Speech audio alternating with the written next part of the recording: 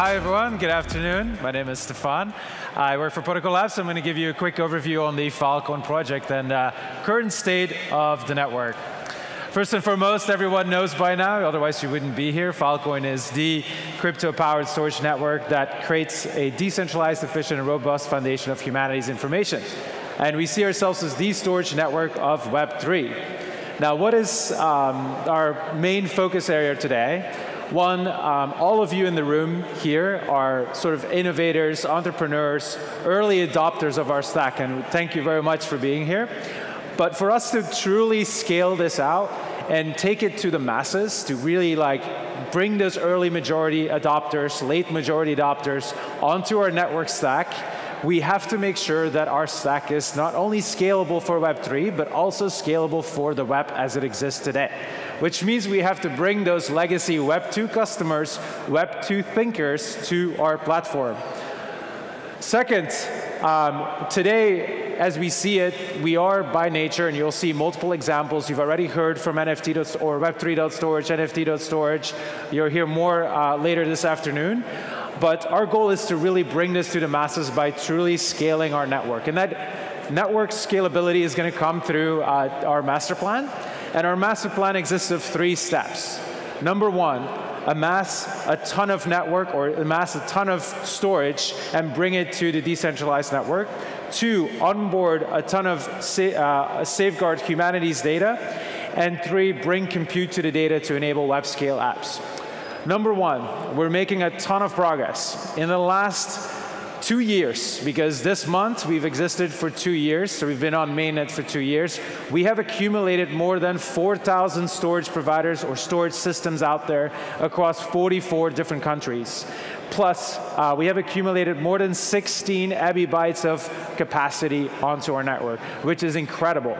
Some say that 10 years ago, this was the size of the three largest cloud providers together. So today, we're making an, a huge um, growth into the space, and we are accelerating not only um, as we bring on new storage providers, but we're accelerating in a couple of regions. In the last 10 months, uh, since the beginning of 2022, we saw the network power grow by, grow by 37%, with the major regions being North America, and uh, Korea, Hong Kong, and Singapore. Obviously, we want to continue that into Europe, as we hear in Lisbon, but a massive growth and a continued acceleration of not only new storage providers coming on board in emerging countries, but also existing storage providers that are growing their ongoing capacity. Not only that, um, we're actually getting a ton of support from the legacy tier one hardware vendors that have contributed to our stack and to our ecosystem. Uh, Seagate is one of them. We'll actually hear more from them this afternoon. Uh, AMD and Supermicro are only a few to call out, and more are lined up to help us with this ecosystem. What does that mean? That means that we're not just a software stack anymore. We're actually collaborating end to end and looking at innovation across the full stack. Second, we are also building new programs. Since the last 10 months, we have seen multiple accelerator programs that have stood up environments to help actually st storage providers uh, on how to become a true Filecoin storage provider. So if you're a Web2 business, you're interested in becoming a storage provider, check out some of these accelerator programs. ESPA is one of them. More than 50 businesses have now graduated or in the process of graduating as to become a Filecoin storage provider. So massive adoption. We're making a ton of good progress. Now we're moving into stage two. Today we are in phase two. We're actually onboarding a ton of uh, user data onto the network. I'm not just talking about NFTs, we're talking about large data sets and we'll give you some examples. So since the beginning of this year, and you can see this green graph, which indicates how much growth or how much data is actually being stored on our network. You actually, we have actually seen up till yesterday, I had to update my slide. By the way, we have to update our slides daily now, uh, as we are onboarding almost three pips, three petabytes of data on a daily basis, and it's only going up we have a total of 280 petabytes of actual data stored on the network, which is incredible. And as you can see, this graph, graph is exponential. And as our growth is expanding now, eight, eight and a half times since the beginning of this year, we only can see, uh, we only continue to see the growth coming from all around the world. People are storing videos, pictures, NFTs, you name it. Uh, it's a perfect fit for um, uh. So if you dive a little deeper, what it actually means is like on a monthly basis, we're actually growing 25%. And second, we have actually more than a thousand unique clients that have been storing data onto the network up till today. And of those thousand clients, we have 15% storing more than 100 terabytes of data. That means they're storing large data sets, which is incredible. Our goal for the end of this year was a 350 petabytes. The way we're going right now, we're going to probably end more than 400 petabytes if the growth continues as is. Which means next year, we're setting a target for two exabytes of capacity. We need everyone's help, but this is enormous.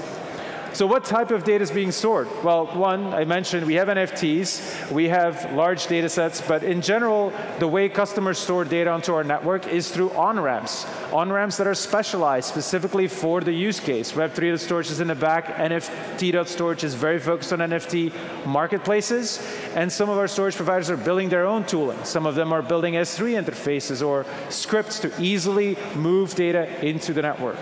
Um, because um, not only is it um, scalable and decentralized, the cost is extremely is extremely efficient, and we're currently less than 0.1% of a traditional Amazon or hyperscaler uh, uh, cost. All right, so we have a couple of examples. You'll hear more about it, but today, Web3 storage itself, as one on-ramp alone, has more than 140 million uploads, which is just incredible.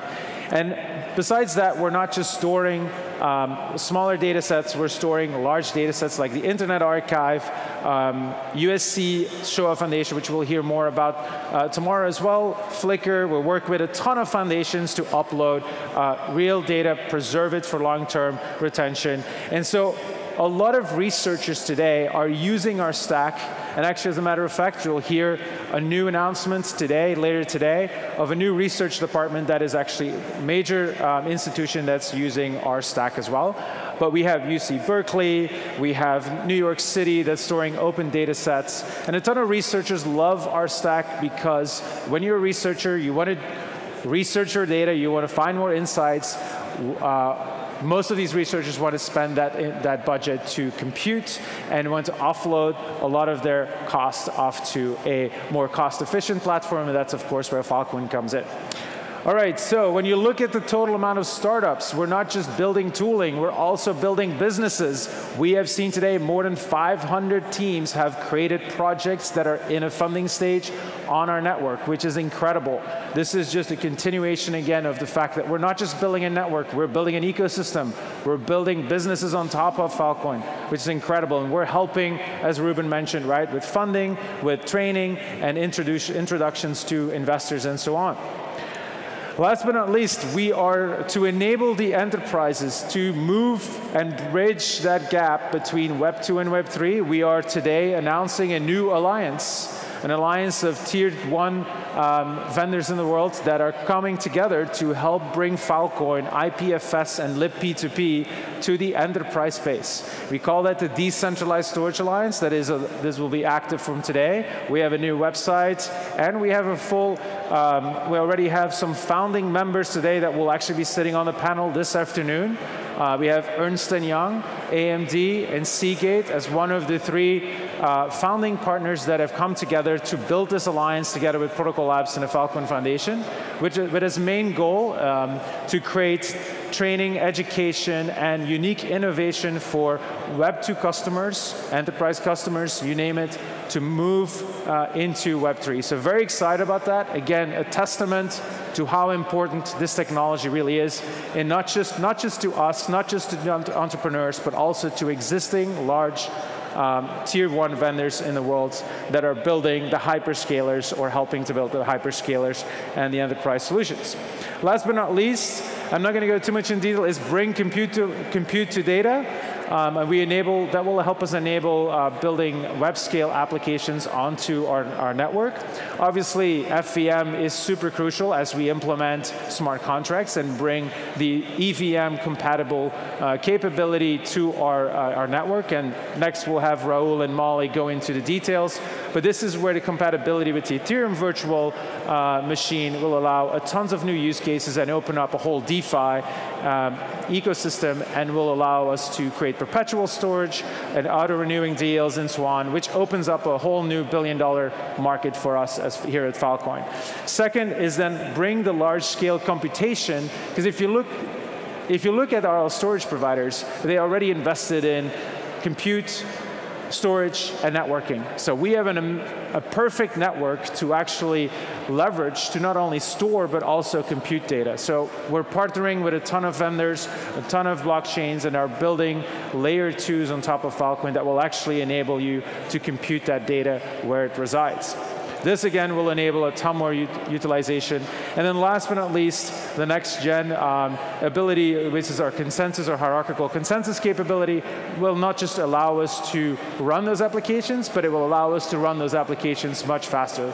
Here it's all about transactions per second, where we'll move from hundreds, hundreds of transactions per second to billions of transactions per second, which again will open up a ton more usability, utility, and um, this is an amazing technology stack that will eventually get us to the web scale um, capability to uh, support not just Web3, but also Web2. So thank you very much. Help us, everyone.